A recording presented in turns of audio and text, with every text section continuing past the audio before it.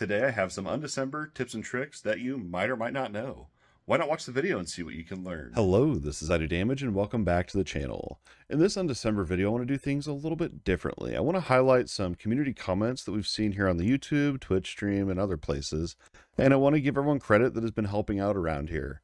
We are a team and I love seeing the constructive comments helping out each other.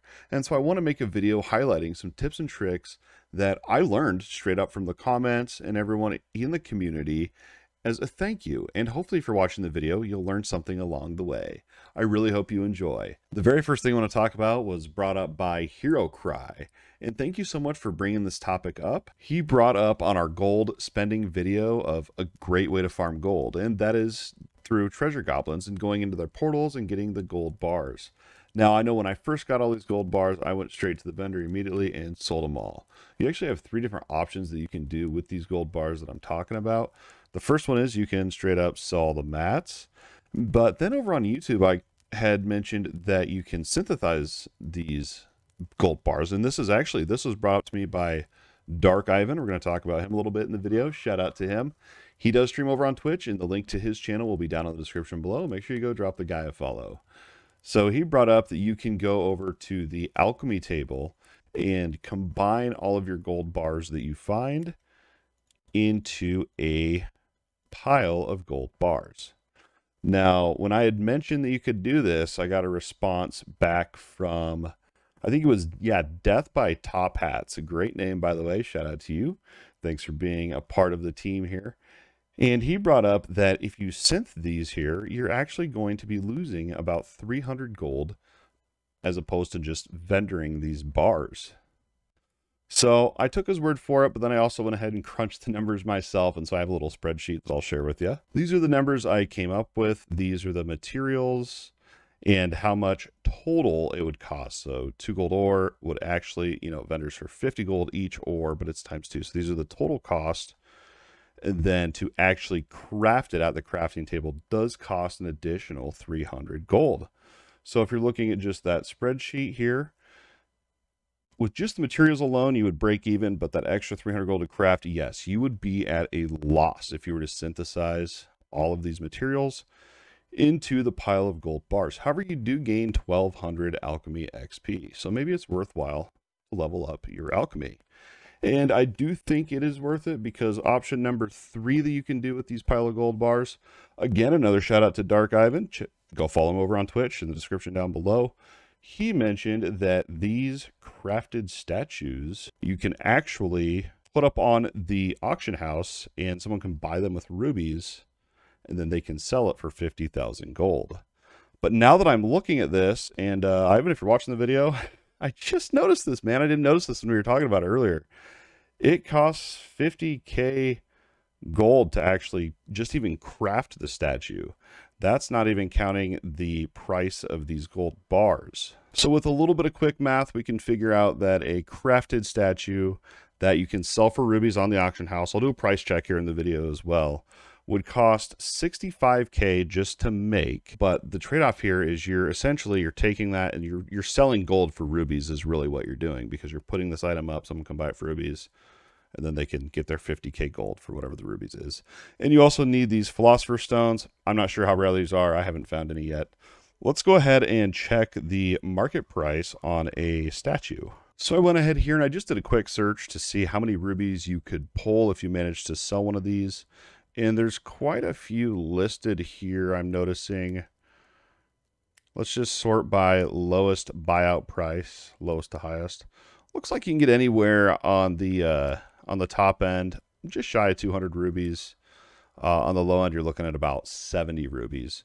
So you would be investing 65,000 gold, and potentially, I'm assuming someone will buy it you'll be getting 70 to 100 rubies in return. So if that's up if that's up to you if you think it's worth it, if you think that's worth your 65k gold, uh in my opinion, maybe. If you have enough gold and you're being a pure free to play player, that might be a great option to check out and invest into. So it's another source of rubies essentially or gold. Choice is yours. Thank you so much to Hero Cry, Death by Top Hats, and Dark Ivan over on Twitch, Dark Ivan73. Thank you guys so much for that awesome advice and being a part of the community and leaving those comments. You guys rock. We had some more great advice come from Chris, aka Day of Exile, as well as Maniac1970. They took part in the comment section down below one of the videos. You guys rock. This is what they had to say we were talking about the leveling up your runes. Remember, I was talking about spending gold and if I think you should spend gold just willy nilly leveling up random runes and how it costs these elements.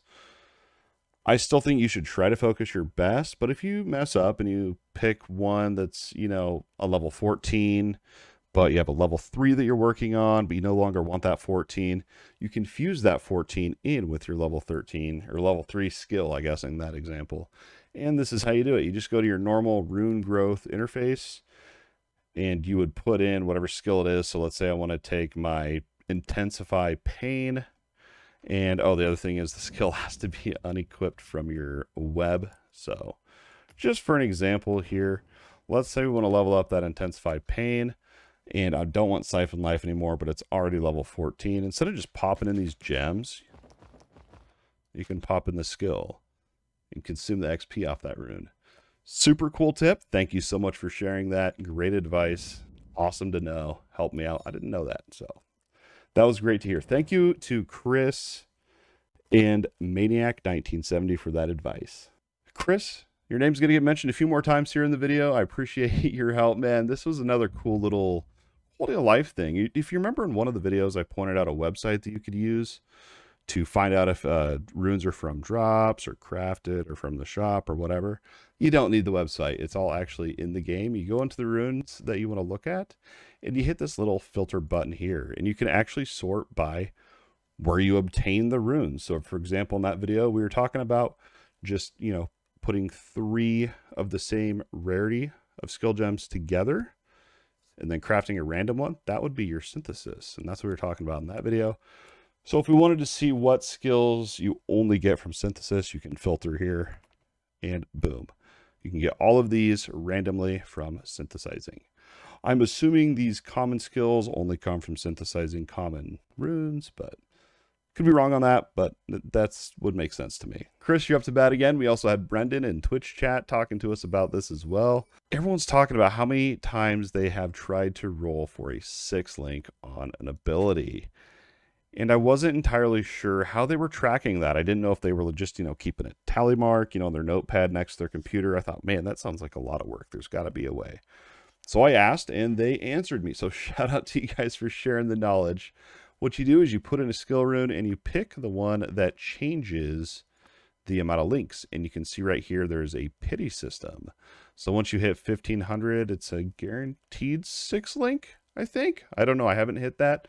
Let me know down in the comments if I am right or wrong on that, but that's what I'm assuming is once you hit at least 1500, you're guaranteed a six link. Anyway, that's that. And that is for all of your, uh, your attempts total. So it's not just per skill.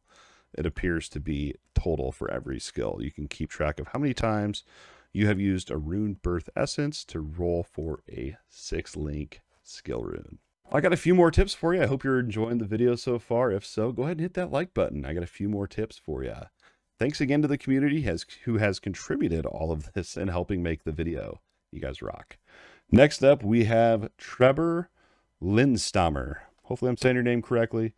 And we also had Rosti was in on this as well. They were talking about the upgrade essences you get for your skill runes. This is what I'm talking about here, these straight up upgrades. So if I had a common in here, which it looks like my meteor actually is common, so I do need to get a uh, upgrade rune to upgrade this to magic.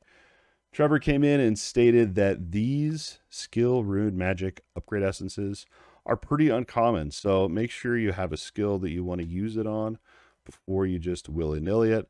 But again, remember you can transfer the rarity over to another skill if you're if you have one that you've upgraded by mistake and no longer want to use you can transfer it onto the other skill at the alchemy table using the transfer rune function. They also brought up down in the comment sections that you can make an alt character rush through act 1 which takes about 20 30 minutes and get to act 2 and they actually give you one of those magic upgrade essences kind of as part of the tutorial and teaching you about this whole thing. But you can take that essence, put it in your stash, and give it to your main. Now, if you're really committed to doing this, and this is you know something that you think is an efficient way to farm this material, go for it. It does take three days to delete a character, and you can have up to you know three character slots total, so a main and then two alts. So what you could do is you know do that every three days on two different characters. And then every three days, you're getting two of those magic quality upgrade essences. And why I'm even mentioning this in the video is because in order to make a rare upgrade essence, you need 10 of the magic upgrade essences. And you can see that right here. So if you really want to, uh, personally for me, I'm probably not going to be leveling alts just for that material. I'll probably just play my main and hopefully get lucky with the treasure goblin portals because they can actually open a realm that goes into an elemental instead of a gold portal. It can go into an element portal. And that's actually how I got the material to upgrade my flamethrower to rare. So that's the method I'm choosing to use, but it is an option and it's there. Even, you know, if you're playing on other alts, whatever, consider it. Thank you to Trevor Lindmaster and Rosti. And we also had uh, Undo Miel. I'm probably saying these names totally wrong. You guys rock. Thanks for taking part in the comment section down below rock on. On to the next. I think I only got a few more left. So those are some of the really big tips and tricks that I wanted to share with you guys from the community here on the YouTube channel, Twitch, chat, Discord, all of it. Thanks for being a part of it. I have a few more bonus tips and tricks for you though, if you want to keep watching the video. That'd be great. I want to talk a little bit about um, barrier. Alex Kirov brought this up and he asked what I thought about the tankiness of barrier. And to be honest, I think it's trash. I have invested quite a few times heavily into barrier from the Zodiac tree, as well as on gear, and there's just some issues with it. I have a feeling later on down the road there's going to be either some skill runes. Uh, I know there's one that generates barrier. I think that would help, and I think there's probably ways to make barrier a great defensive option. For me personally, though, I'm going a little bit more after armor, and what's really cool about this game and while you're leveling up, you're going to be getting, you know, strength gear, dex gear, or intelligence gear, which is strength is your armor, dexterity is your dodge, intelligence is your barrier. But what's really cool is they have hybrid armor in this game that mixes the two stats. So personally for me, I'm going after pieces of gear that offer armor and barrier on it. With that, though, you do have to have a little bit of strength and intelligence invested to be able to equip those items. So if I find armor that has armor and barrier on there, I go for those and I try to craft on those. That's kind of my strategy I'm taking. I got really lucky today with the drop though while I was out farming XP and I got this great piece. Look at the armor on this thing. So that kind of helps out quite a bit because you want to make sure you're trying to stay. My resistance is, ugh, I'm going to need chaos once I'm getting into the end game. One more bonus tip and trick that I have, and this one's honestly pretty basic. But I don't know about you. I've been going through the game and I've been trying to figure out exactly how to scale some of the things in this game. And everything that is in yellow or this this color here, I think that's kind of yellowish, isn't it? I don't know. But that can be modified in some way. At least that's my impression. And these are because you have tags on the skill, but these numbers down here that are in that yellowish color can be modified from either Zodiac or they can be scaled in some way. And where I'm going with this is area of effect. We had Slain in the Twitch chat watching me use Flamethrower, and I was struggling with it. The, the range on it was not very long at all. It was, it was I had to be pretty much in melee range. But I went through and I invested heavily in the Zodiac tree into area of effect. And shout out to D for helping me navigate this as well and we just there was some other nodes as well. If I do a build guide in the future, it'll it'll all be in there of how I got all of it. But you can see on the flamethrower skill, there's actually an area of effect stat here, and it's blue, meaning that is modified in some way. That's that. Over on Meteor, though, I don't see a area.